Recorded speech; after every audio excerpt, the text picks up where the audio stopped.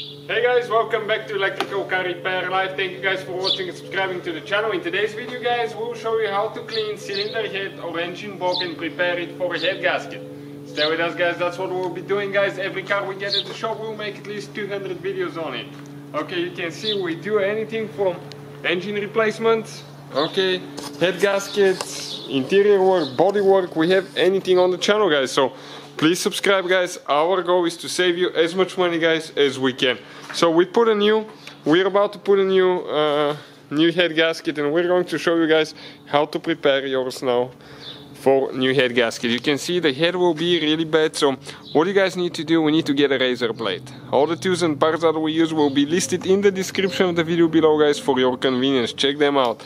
With a razor blade always scrape that way okay? Never try to cut into it because if you do okay you can you can scratch your cylinder head or engine block severely. So with that blade you're going to clean quite a bit of it okay? We're going to do half okay? Like up to here. Let's do half up to here so you can see the difference uh, yourself. Now next guys we need to get okay carburetor and air intake cleaner or brake cleaner works too but don't get it on the seals. We need to get a wool sponge okay? We're going to spray some. Okay clean as much as we can always always use gloves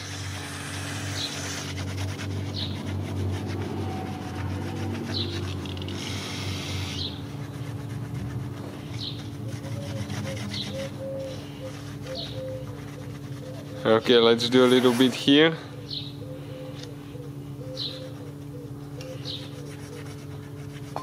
So you can see so much, looks way better, right? Next, we're going to get some, uh, you can get a sanding block. Okay, the bigger the block, the better. And uh, don't get uh, one that is too coarse, okay? And you're going to start applying even pressure, okay, to the whole cylinder head.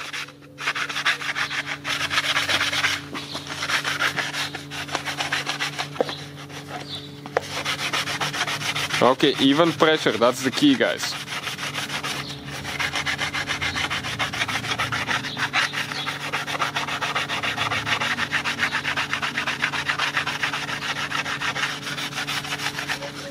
And you can see how good that thing starts to clean.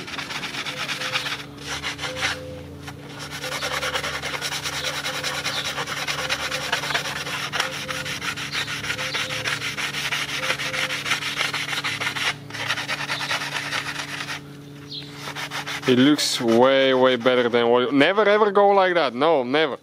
Because like that you're not applying enough pressure. So you need to go with the whole block okay with the whole block like that now if you don't have block like that you can just get uh, usually we go with 400 sandpaper that you can get even on a wood block just a regular wood block and you can fold the paper like that okay? And you can start going this way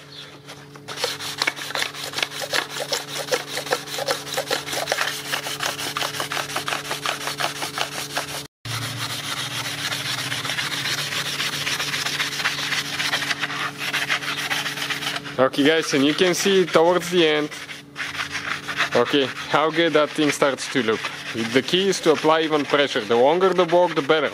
Even get like uh, the longest you can find, that way you can apply even pressure to each side. After that, we just get a little bit of, uh, okay, carb cleaner. We wipe everything, you need to blow everything off with your air compressor. Make sure you don't have anything in the valves. Uh, also, if you're doing that to the cylinder block, make sure that uh, you clean the block as well and you blow it uh, to make sure you don't have anything in the pistons, in the piston rings and all that. So check this thing out guys, how much better that thing is, okay, compared to the other side right there. So hopefully the video will be helpful, that's what we've been using. Thank you for watching and see you guys next time.